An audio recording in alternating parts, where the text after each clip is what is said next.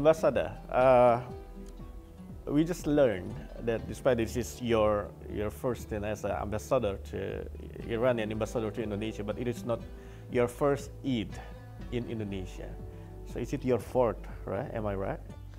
Yes, uh, I was here uh, around 22 years ago as a junior diplomat. I worked in the embassy for more than three years. At that time, I uh, could witness the government of Al Marhum Gus Dur and also uh, President Megawati Sukarnoputri, and after that, SBY, uh, Susilo Bambang Yudhoyono. During a short period of time, I, I could see here three presidents. And uh, it was very uh, fantastic and very pleasant mission for me to work in Indonesia. Yesterday someone asked me what do you enjoy in Indonesia the most. I told them the most pleasant uh, part of the Indonesia is the kind and good people. They are always positive, they are always smiling and they are always uh, helping. So uh, I like, I love Indonesian people and I am so happy that for the second time I came back to Indonesia. And to be honest with you, I know Indonesia as my second home. When I am in Indonesia, I miss Iran, and when I am in Iran, I miss Indonesia. So I don't know what to do with, with this, you know, double love. uh, but when, when you come back to Iran, what, what, what are the things that you miss the most from Indonesia?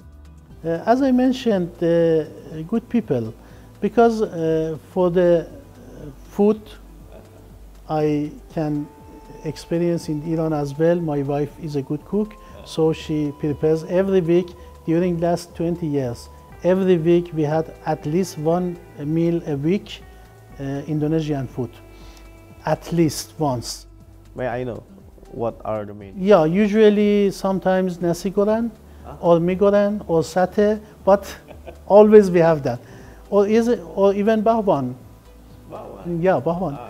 Uh, we love we love that in the home. My my, my children love the, the foods, but we can experience that in uh, experience that in Iran as well. Even when I was in other countries, I was in China for five years, and every week we had Indonesian dish, you know. But uh, also the traffic jam and also the pollution I can experience in Iran as well.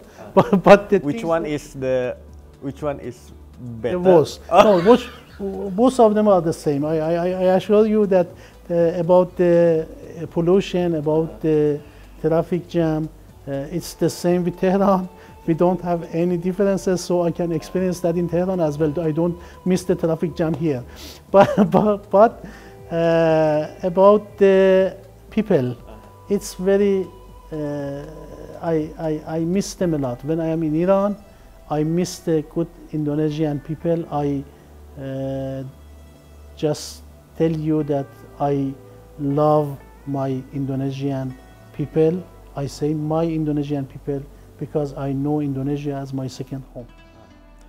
Uh, okay, I will start from this. I believe that Iranian people are also good. But yeah, okay, Iranian people is good, Indonesian people are good. Uh, but again, I will try to follow up just like uh, what kind of goodness the, the, the unique trait of Indonesian goodness Indonesian people that you cannot find it in Iran? Okay, that's a tough question. You know, it's very difficult to say because you say you cannot find it in Iran. But is uh, the positive positiveness and smiling that Indonesian people are. Iranians are, are not so positive and smiling. Uh, they are, they are kind, they are uh, very uh, the hospitality is very good in Indonesia and Iran, but you can see in Indonesia when you just face some Indonesian people, always they are smiling to your face and always they say positive words. And I have, uh, you know, I, I know a little bit Indonesian language. I can say that in Indonesian language, it's nice that they, they don't say no, they don't say tidak. They always say belum. So oh, it yeah. means that when you ask someone, have you uh, just got your diploma? They don't say no, they say belum. It means that I am still trying, I am still positive. That's the good thing about Indonesian people. Mm. Yeah, yeah, we will not give up.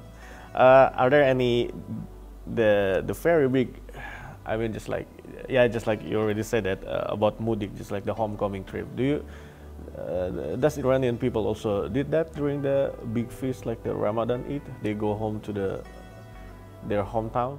Yes, uh, in Iran we have two kind of Eids. One of them is Nowruz, that Iranian, uh, according to Iranian calendar, is the eve of the new year. So Iranian used to go to their homelands during Nowruz, sometimes for one week or two weeks. They go, they take off and go for homes, maybe hometown, and come back. Also, uh, during uh, Eid al-Fitr, we have two, two days uh, official holiday, uh, but you know that the people uh, like to make this a long term ho- holiday so they take off from their jobs and they sometimes make it one week or even more than that to go home and come back. So yes we celebrate Eid al-Fitr in Iran very well as well